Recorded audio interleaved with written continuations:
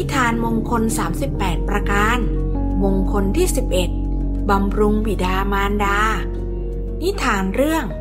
นกแขกเต้าเลี้ยงบิดามารดา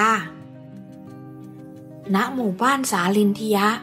มีโกริยะเศรษฐีเป็นเจ้าของไร่ข้าวสาลีถึงหนึ่งพันไร่ ในป่าซึ่งอยู่ถัดไปไม่ไกลนัก เป็นที่อยู่อาศัยของฝูงนกแขกเต้า มีพญานกแขกเต้า คอแดงเท้าแดงเป็นหัวหน้าฝูง ทุกวันพญานกแขกเต้าจะพาบริวารลงมากินข้าวสาลีในไร่ของโกริยะเศรษฐี คนงานในไร่จึงไปรายงานต่อเศรษฐีว่า นกแขกเต้าพากันลงมากินข้าวในไร่ ซ้ำตัวที่เป็นหัวหน้ายังคาบข้าวกลับไปอีกด้วย โกริยะจึงสั่งว่า ถ้าอย่างนั้นเจ้าจงไปจับตัวหัวหน้ามาให้เราเถิด คนงานจึงออกไปทำกับดักไว้ ครั้นถึงเวลาเย็นพญานกแขกเต้าก็พาฝูงลงมากินข้าวสาลีเหมือนเช่นเดิม แต่ด้วยไม่ทันระวัง ก็ติดบ่วงแล้วของคนงาน จึงร้องว่า มีกับดัก พวกเจ้าจงหนีไป เมื่อสิ้นเสียงพญานกแขกเต้าเหล่าบริวารก็รีบพากันบินหนีไป คนงานจึงจับพญานกแขกเต้าไปมอบให้โกริยะเศรษฐี เศรษฐีรับพญานกแขกเต้ามาประคองไว้ แล้วถามว่า เจ้านกแขกเต้า ท้องเจ้าคงจะใหญ่กว่านกตัวอื่น ถึงได้กินข้าวสาลีจนอิ่ม แล้วยังคาบกลับไปอีก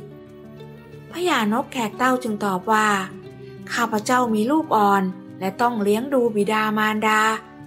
บัดนี้ท่านแก่ชราไม่อาจจะบินหาอาหารไกลๆได้ อีกส่วนหนึ่ง ข้าพเจ้าก็ให้เป็นทาน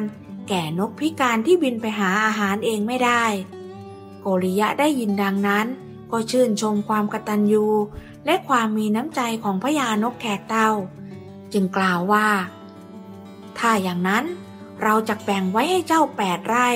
เอาไว้เลี้ยงดูฝูงบริวาร และจงหาอาหารเฉพาะในนาที่กำหนดให้ แล้วปล่อยพญานกแขกเต้าเป็นอิสระ เมื่อพญานกแขกเต้ากลับมาถึงรัง ก็ประกาศแก่เหล่าบริวารว่า เรารอดมาได้ เพราะเป็นผู้รู้คุณบิดามารดา ขอให้พวกเจ้าจงบำรุงเลี้ยงดูบิดามารดาเถิด นกแขกเต้าทั้งหลายก็อยู่ในโอวาทของพญานกแขกเต้า และบำรุงบิดามารดาของตน หากน้องๆชอบคลิปนี้แล้วก็ อย่าลืมแชร์ให้เพื่อนๆเข้ามาชมกันเยอะๆนะ ดไลค์กด Subscribe ไว้ จะได้ไม่พลาดคลิปใหม่ๆจาก Skybook Channel นะจ๊ะ